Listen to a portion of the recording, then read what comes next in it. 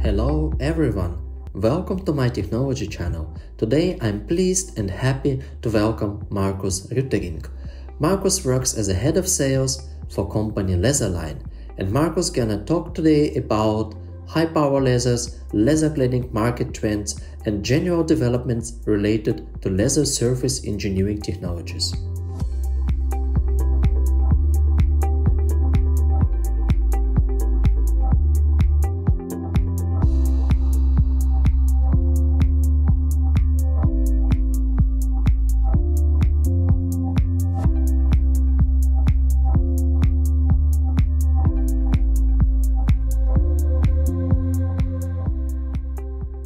And I'm very happy and excited to introduce you Markus, who is working as a director of sales and marketing at Laserline.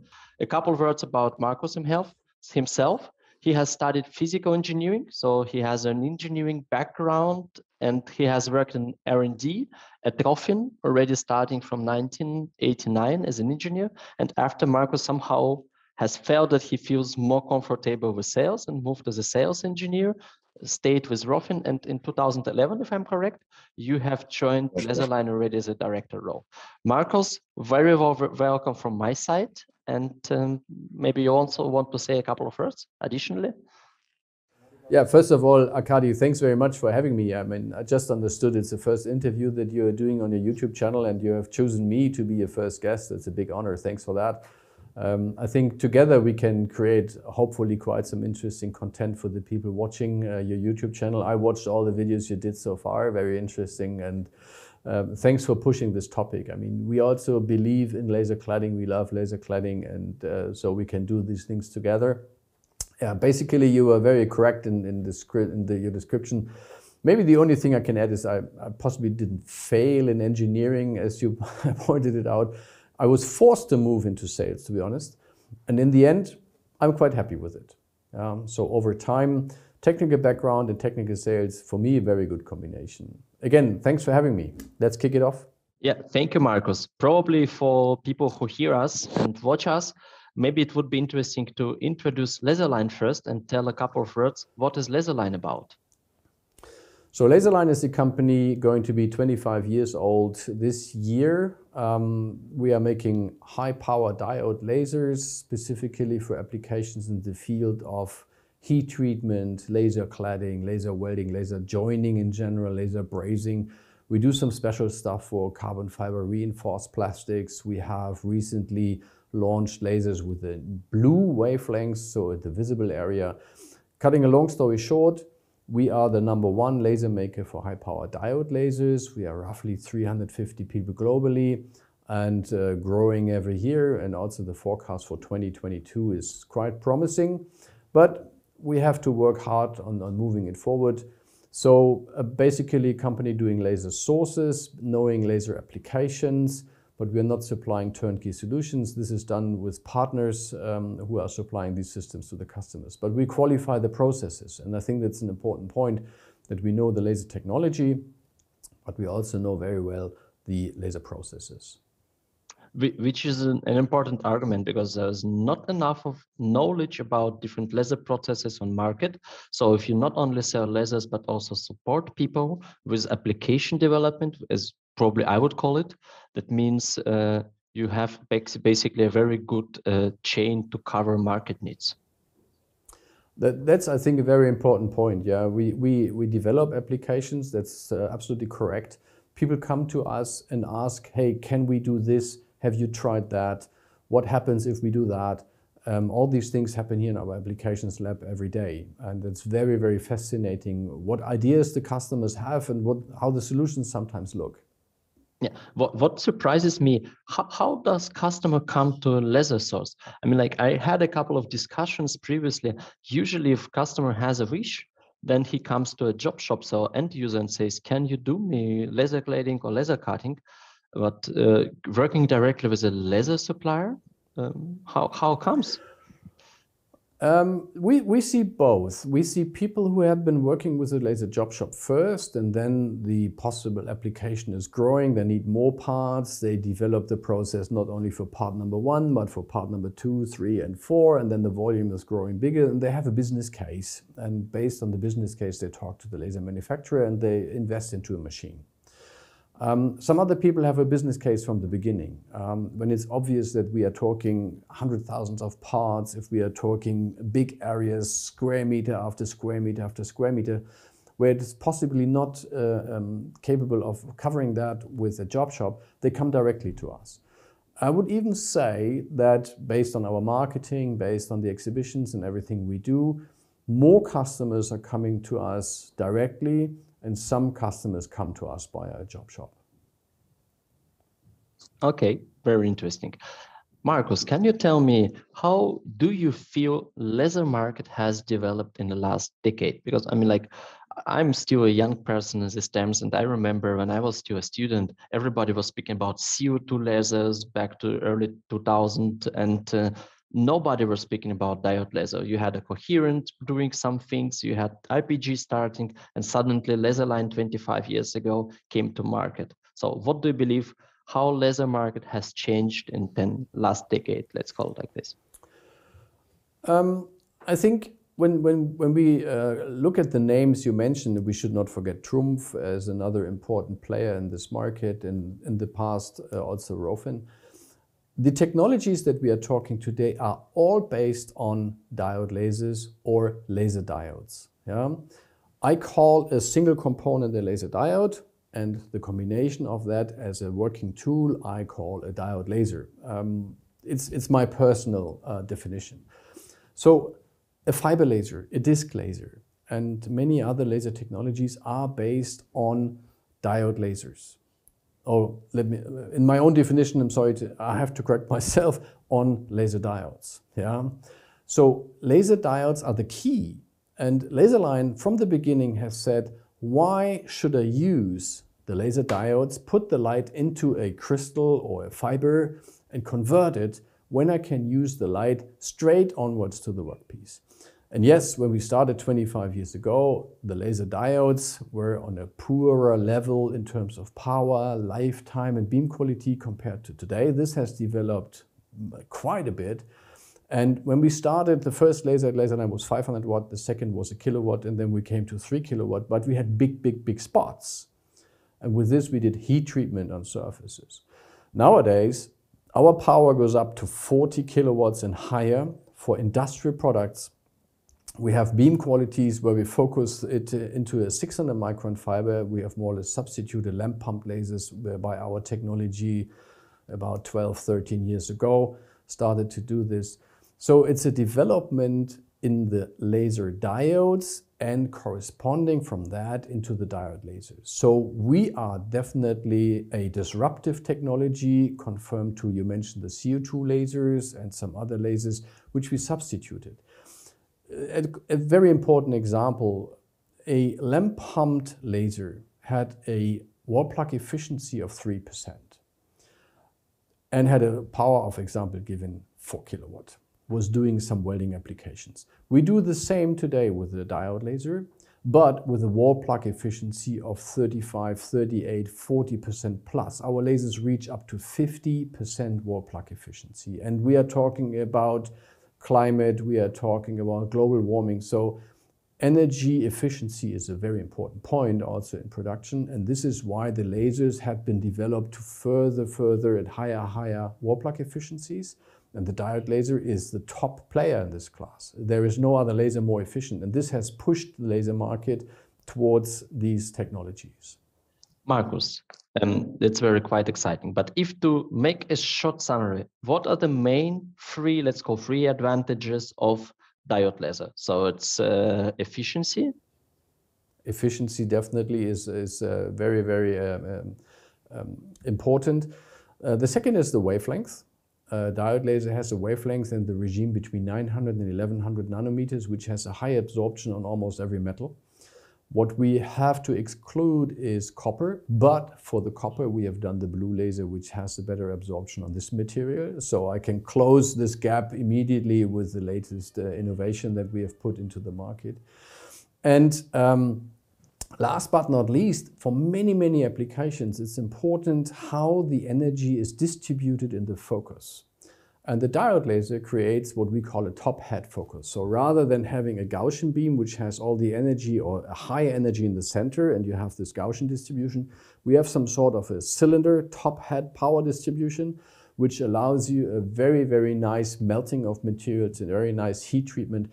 And coming back to cladding, which is more or less your topic, the top hat beam allows a wonderful cladding with reduced overlapping from line to line, um, which we do with our cladding heads. So this is one of the reasons, and I'm sorry if I take a question uh, up front here, but this is the reason why diode lasers are also so much into laser cladding.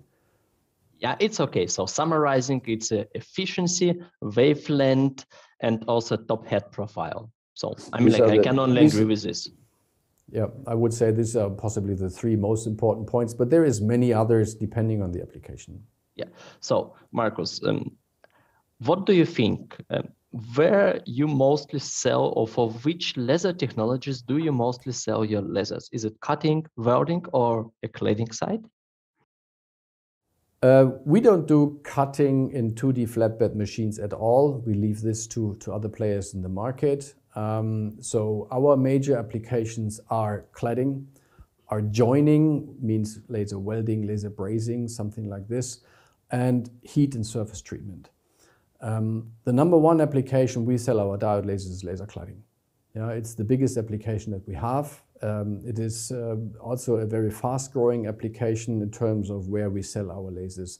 Laser cladding is the most important application today and honestly, I don't see a reason why this would change the next three to five years. There's so many applications coming which need lasers for cladding surfaces, for uh, repair, for changing the surface capabilities and um, other applications where you have to have something non-magnetic. Uh, you, you know the applications better than me, but laser cladding is our number one and it will grow further which is a very important note also for me and for people probably who are going to look us at, at our interview because i mean like always a question is there a behind uh, laser cladding more than just a scientific approach? Is there a market behind? And you hear Markus laserline is selling most of their lasers nowadays to laser cladding processes which i'm very happy to hear can you do some sneak peeks about number of laser sources you usually sell per year? Is there any official information you can share or not?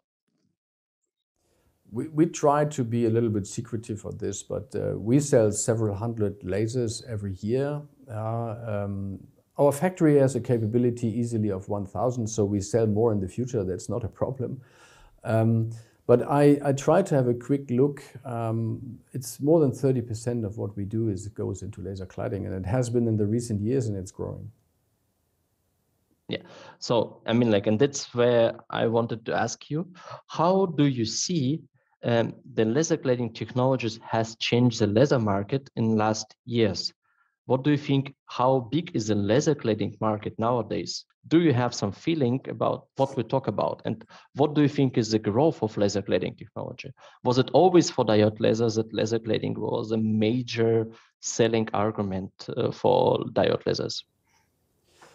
Uh, starting with the last part of your question, I think diode lasers have been picked over time more and more into these markets. I mean, when I say cladding market, I also consider additive manufacturing with DED into this market. Um, for us, it's basically one approach where people use powder and wire to, to do something on surfaces and build parts and such. Um, so with an increase of power, with, with a reasonable beam quality, fiber diameter, spot diameter, diode lasers has taken um, this, this cladding application more or less in the last 10, 15 years, more and more. I'm not saying it's impossible to use a different laser. And if you speak to the other laser companies, they will tell you, of course, their laser can do cladding, and I don't deny that. But I'm very much convinced the diode laser is the better tool based on the three top arguments we were exchanging earlier. So the, the size of the market, that's really a, I would say it's a tough question. Um, when you look to, to analysts who are looking to these markets, they forecast something in the range of 600 to 800 uh, million dollars in about 10 years from now. Nobody has a clear number how big it is today. I personally foresee a growth of 10 to 15% on a yearly basis. So you can calculate backwards from the 800 million where we are today. But as you said, I have a look to the lasers, laser sources, maybe laser machines. I don't have a real look to what is sold as a job shop. Um, I mean, if somebody has bought a laser machine off as a job shop and he, he quotes square meter after square meter to customers, I have no clue how big, big this market is and how many million of dollars are used here. And on top of that, powder is not my business. But several hundred million dollars is, is the possible market size when we take everything into account, yeah. Yeah, which uh, I would probably give in that range as well. What I'm worried about, little, what means worried? And we hear some rumors about China, and I had a couple of discussions with uh, my colleagues who work with China, and they told to me that like already nowadays there are more than 2,000 lasers for laser cladding sold inside the Chinese market. Do you believe this is a rumor, or it might be possible? And how is it for Laserline?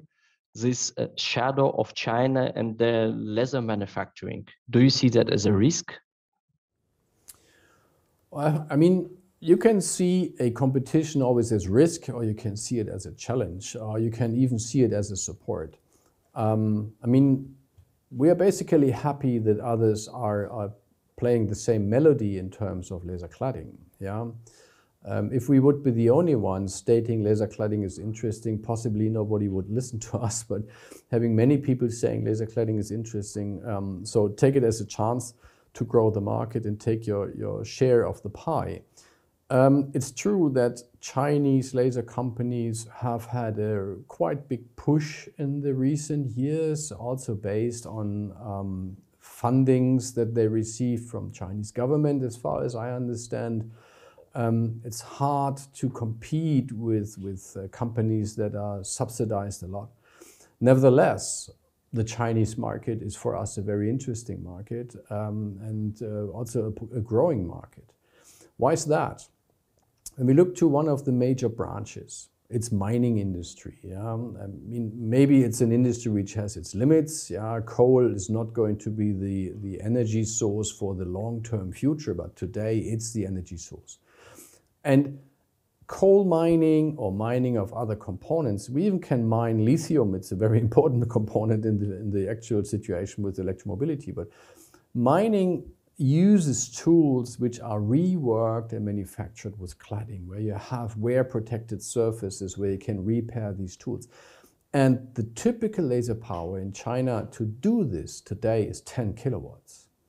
And when we look to the general market in China, also Chinese laser companies producing a 10 kilowatt laser with a reasonable capability of laser cladding in terms of wavelengths, in terms of beam profile and everything else, that's not so easy. And I think I'm a little bit biased, to be honest, and uh, maybe also a little bit arrogant, but the 10 kilowatts um, is something that we established in the Chinese market. And when you speak to people, many say, yeah, yeah, yeah, what you need is a 10 kilowatt laser. And even people saying what you need is a 10 kilowatt Laserline laser.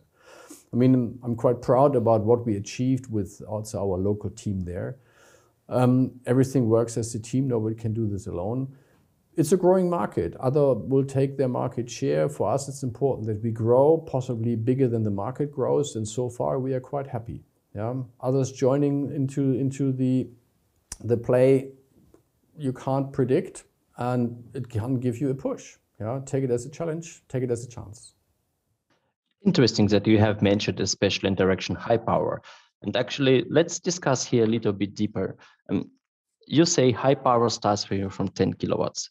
I know there are a couple of your lasers already operating on the market with 20 kilowatts or even more energy. Some institutions have 40 kilowatt uh, lasers. What do you believe is the future of laser sources for laser cladding? Is it high power or is it a high speed, which is like very now known under the marketing term EHLA, extreme high velocity laser cladding? I think we have to, to consider um, a term a friend of mine used a lot in the past, the horses for courses, yeah, the right laser for the right application. Um, let's, let's pick um, the point of high velocity laser cladding, high speed laser cladding. Um, typically for very thin layers, I would have said three years ago, this is an application for a two kilowatt laser, maybe for a three kilowatt laser. Today, I tell you, this can easily be a laser having 15 kilowatt or having 20 kilowatt. It's a matter of having the right spot size, energy density, powder supply, and speed.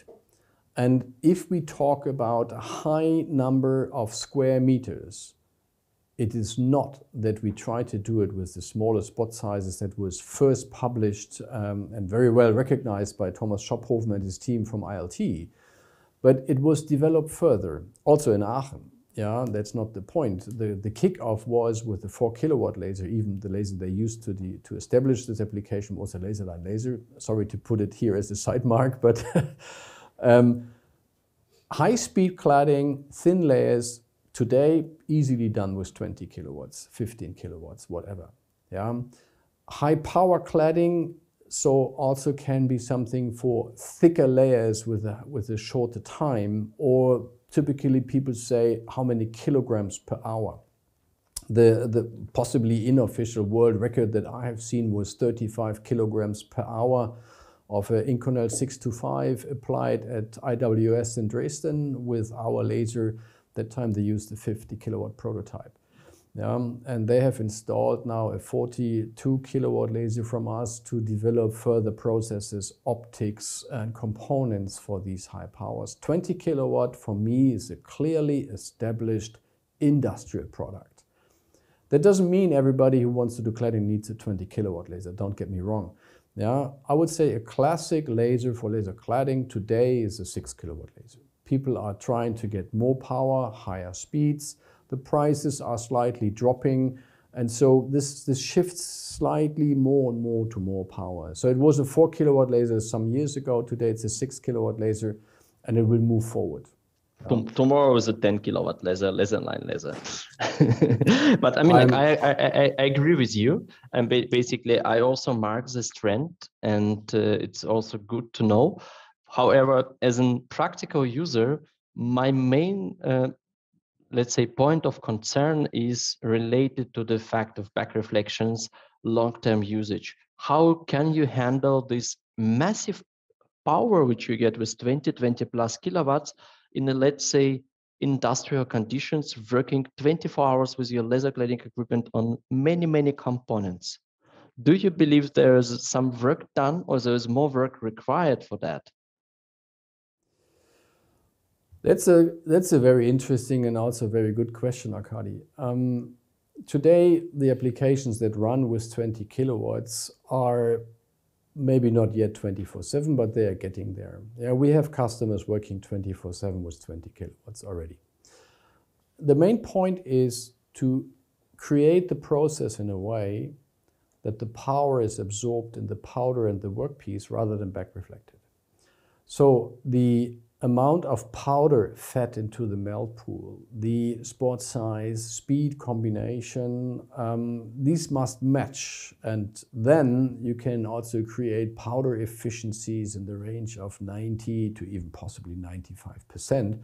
So by far exceeding what we know from thermal spray, also making it an interesting uh, business case again because you save the powder. Sorry to say for Oerlikon, I know you want to sell more powder, but I'd rather better sell 20 tons of powder with 90% efficiency, knowing that the powder brings the parts forward rather than the 50% of losing powder. Because in my opinion, personally, it's not environmental friendly. Even if you make money, but making money with not environmental friendly process, and also having powders overspray or which cannot be reused, it's it's not a good sign. So I believe laser cladding, that's why is a green process, and which in my opinion is again one of advantages of it. I, I totally agree. Yeah. Um, not only long term, but already medium term, the processes that are green, basically greener than others, will survive. Yeah. Um, when we look to what customers ask us today is, how much energy do I need to do this application? But they take it even further. They ask us, how much energy did you use to produce your laser? Yeah? And of course, how much energy is produced, uh, is used, sorry, to produce the powder and how efficient is my powder usage in the process is very important questions. So um, your, your statement is totally right. Yeah coming back to this back reflection issue, um, or it, it's not an issue to the back reflection question. So having the process set in the right way, having applied the power and powder in the right combination, speed and everything else, there is not so much back reflection. Yeah, the power is absorbed into the powder and the base material.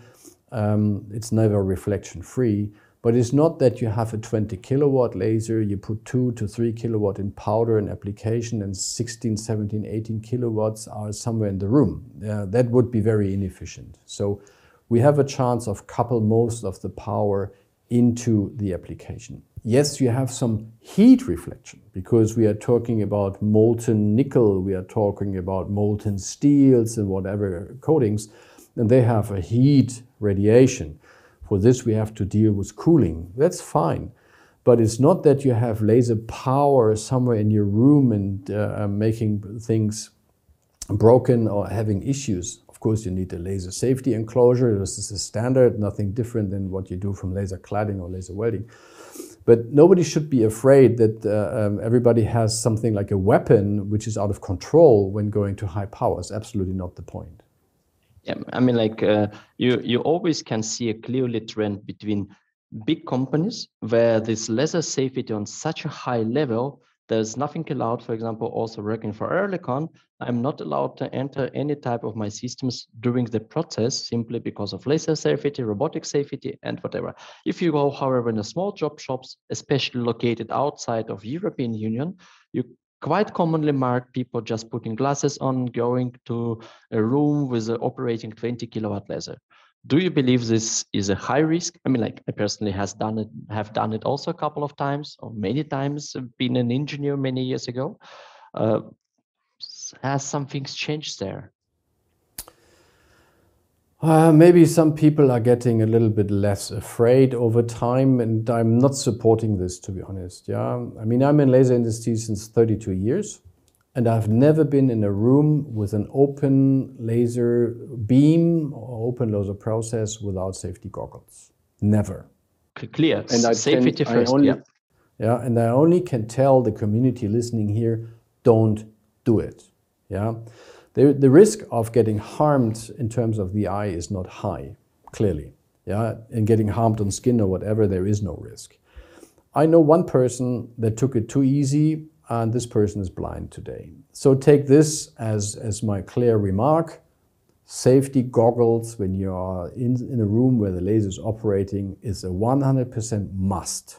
Yeah, and I hate videos on YouTube or wherever where people are having lasers around and no safety goggles. Yeah, safety is nothing to be ignored, but at the same time not an issue where people should be uh, worried about. It's, it's everything can be handled easily. Yeah? Uh, we run up to 60 kilowatt prototypes here in our company and uh, we are not industrial, so everything is a little bit more open. Uh, it's a little bit more engineering. And never ever anything happened. Yeah? It's not to be ignored. Again, and let me state this: safety must be considered, but it's nothing to be afraid of. Just follow the safety rules as usual, and that's yep. the point. Good, um, Markus. Another topic you have mentioned it already: additive manufacturing. It's a really huge hype on the market happening by additive manufacturing.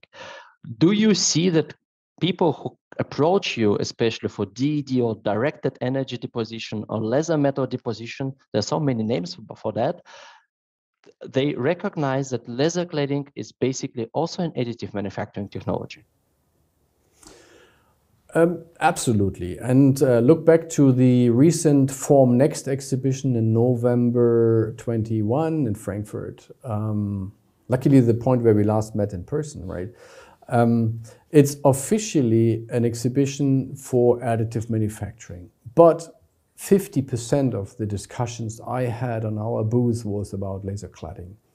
So for me, the Formnext exhibition to some extent is an exhibition where we talk about powder and wire applications by laser and other technologies. And this can be for surface treatment, surface development, cladding coating, and it can be for making a part. Making a part today is done typically in either the powder bed fusion or in DED, if we take the official term, as you mentioned it already, direct energy deposition. Some still call it blown powder, laser metal deposition. Yeah, there's many different things. I'm talking about a laser with an optic, a powder nozzle, powder used to create layer by layer by layer into a part. And typically I would refer to as DED today. And many people talk to us about this topic. Um, there, go ahead. This leads me to the next question. I mean, like, first of all, we have to in my opinion, as an expert, the difference between laser cladding and DED is only one. You don't have so much of influence of substrate. But it's again also not always correct because using DED, you also have to think about deeper how your process and fixturing for, for substrate look like uh, because you need somehow to take the heat away. Yeah, but that's not my question. It was just a remark. The question is following. You mentioned um, Formnext, in typical additive manufacturing exhibition, very popular. I've really enjoyed to be there. And at the same time, uh, however, there is nothing dedicated to laser cladding or surface engineering technology existing on market where laser cladding would be in focus. We also have to agree that the laser cladding is developing. However, it's not so well established and industrialized as a thermal spray. What do you believe is the main bottleneck points in the development and how we can change this fact, especially knowing that Laserline is selling more laser cladding devices. What would you um, recommend from that point of view? Well, that's a tough question, Arkadi. um, I mean, of course, the easy answer would be let's establish a laser cladding exhibition. Um, I'm not sure if this is the right approach. Um, laser cladding could definitely be a topic which is more covered in conferences sometimes. Yeah, when I look to to um, conferences for laser applications, I read uh, femtosecond, picosecond, ultra fast lasers. Yes, we do a lot with the new wavelengths, blue and such, but having a reasonable discussion about laser cladding. It happened in, in Dresden on, on their conference recently. Um, I think you did a speech, if I'm not totally wrong. and that's for a reason, yeah. Um, they, they are really uh, um, a hotspot for laser cladding together with some others, also on a global approach. Um, the community is not very big, well informed, but growing. Um, a simple exhibition would be too short um, making more noise in terms of conferences, discussing new applications, etc. I think is, is more interesting.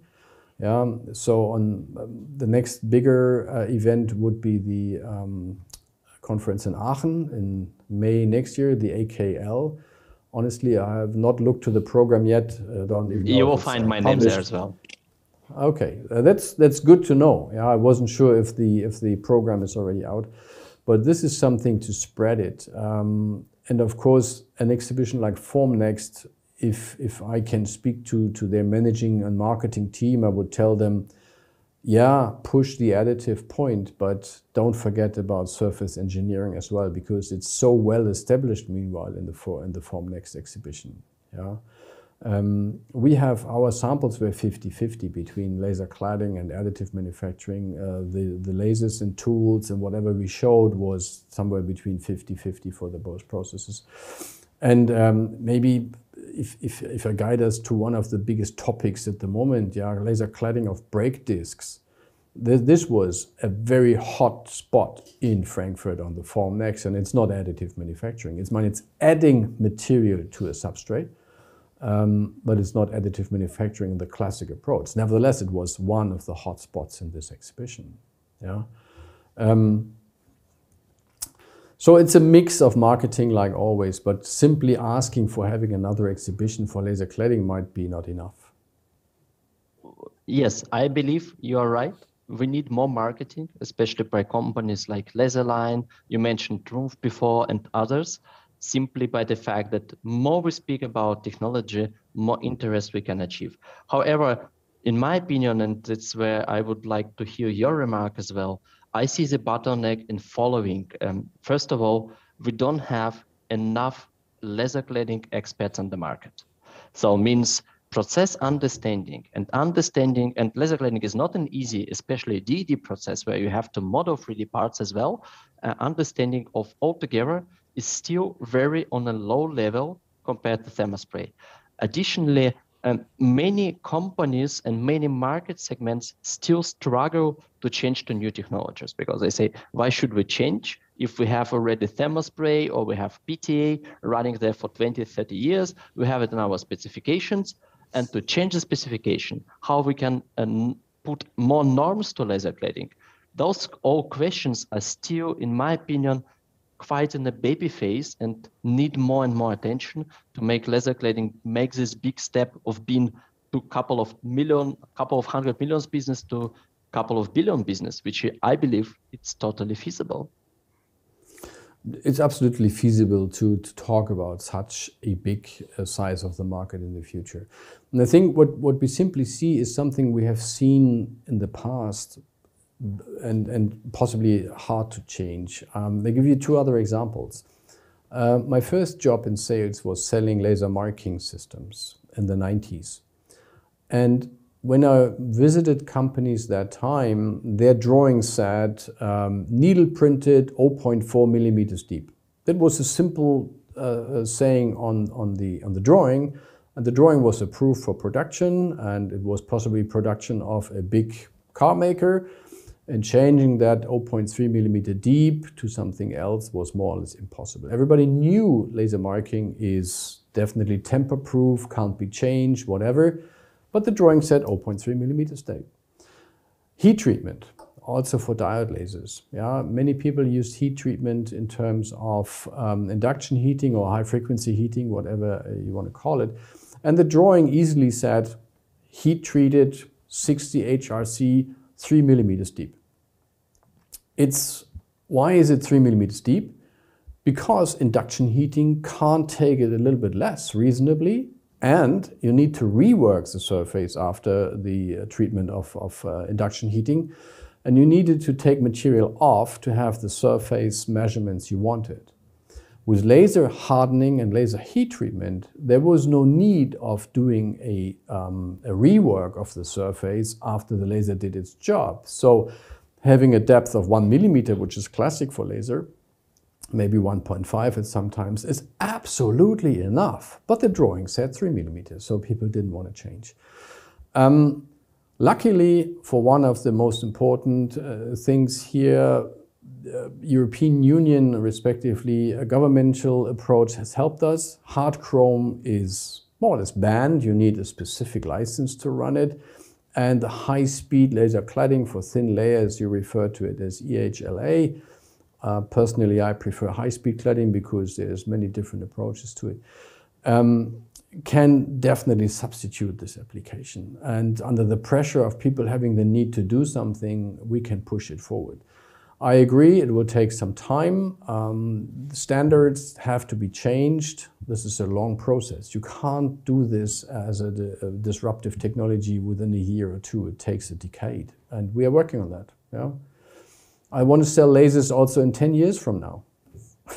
I, I wish it will happen. And I wish in 10 years we meet again at Formnext and uh, you sell already not a couple of hundred lasers, uh, you sell a couple of thousand lasers and still successful and mostly with 40 kilowatts having industrial processes. Anyway, Markus, um, before before we finish, maybe you want to summarize uh, what you said. Maybe you want to wish something. Uh, use this time because I mean, like Laserline is a well-known company in the laser cladding market, and uh, I really appreciate having you here and giving your insights. I believe it was very interesting. Also for me, I learned a lot of things, and thank you for that. Yeah, first of all, again, thanks for having me. It was was uh, very nice to have the discussion. I mean, some of the discussion we we have had even in private and personal meetings, but uh, having it on a bigger scheme and even um, asking me some more detailed question was very interesting as well for me. So thanks again. Summarizing, I think what we can state is laser cladding is definitely a very industrial application people who think laser cladding is somewhere a niche application, I don't agree. It's not as big as, I don't know, um, uh, um, laser cutting in terms of numbers, yes, but it's no longer a niche application. The demand of the customers in terms of process support has never stopped. Um, you develop new powders at Oerlikon. People ask us what they can do with these powders. Yeah, um, so this will go on. Um, powder efficiency will be pushed forward. There is still a lot of stuff that we can discover um, to make the market bigger. Power levels, I think overall in average will increase and I'm 100% convinced the diode laser technology will be the one dominating this market in the end. It is more efficient than others, it's more green than other technologies, well suited for the application. And this is why I'm convinced we, we are going to have success with this. And let me say, this is also one of the reasons why I'm at Laserline. Very simple. Very good. Thank you, Markus. Arkadi, thanks for having me. Enjoy the rest of the day, and I'm looking forward to meet you again. Once again, thank you to Markus and to Laserline for this interview, for an open discussion and for providing me those exciting video materials which give you an idea how the laser cladding technology is developing and what a major role diode lasers play there. I also thank you, my dear viewers, for watching this video and I want to ask you to add your questions, add comments, maybe you have some interest, please feel free to reach out to me, to reach out to Markus. his contacts will be also in description to video and let's develop a laser cladding market together.